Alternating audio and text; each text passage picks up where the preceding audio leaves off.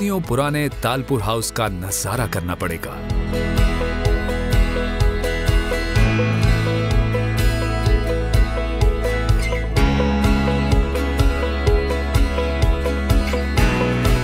Talpur house अठारह में हसन अली तालपुर ने तामीर करवाया,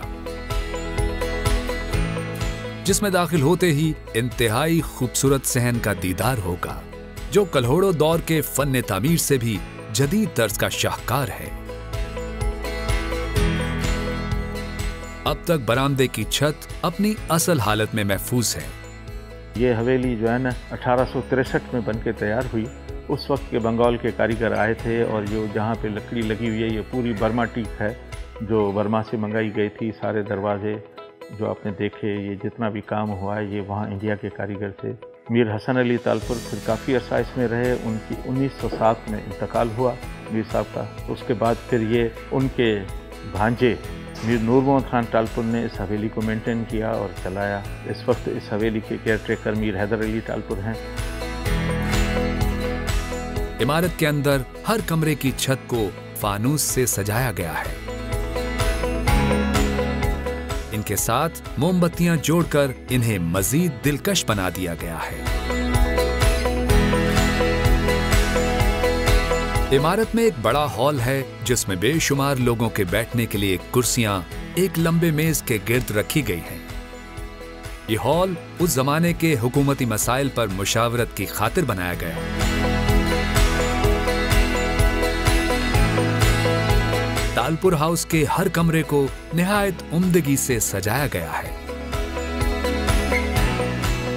हवादार और दीदा जेब राहदारियाँ 18वीं सदी के सिंध की अक्कासी कर रही हैं।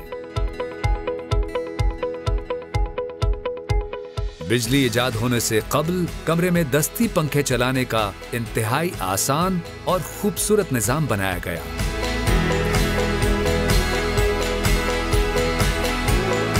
दीदा जेब डिज़ाइन वाले मेज को हर कमरे की जीनत बनाया गया।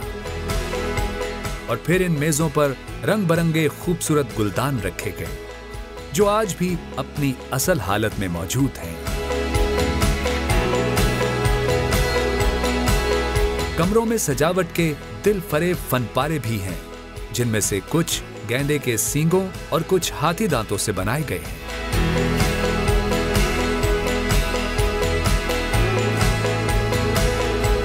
कुछ कमरों के आरायशी सामान और सजावट से पता चलता है कि ये सिर्फ़ खवातीन के लिए खास तौर पर बनाए गए थे, जिनमें कदीम अलमारियाँ और सिंगार मेजें रखी गईं।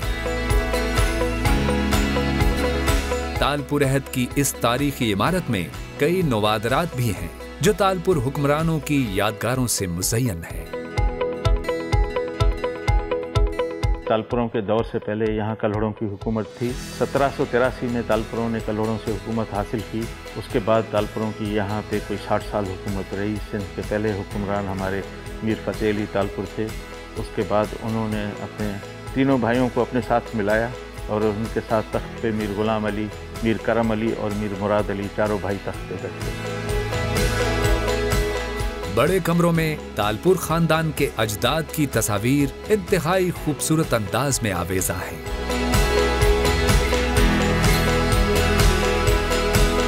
तालपुर दौरे हुकूमत की यादगार इमारत, तालपुर हाउस, आज भी सिंध की दीदा जेब रिवायात, सकाफत और तर्ज हुक्मरानी के चलन को बड़ी खूबी से बयान कर रही है। तालपुर हाउस की हर शय सयाहों की दिलचस्पी का सामान बने इन्हें अपनी तरफ़ मुतवजा करती है।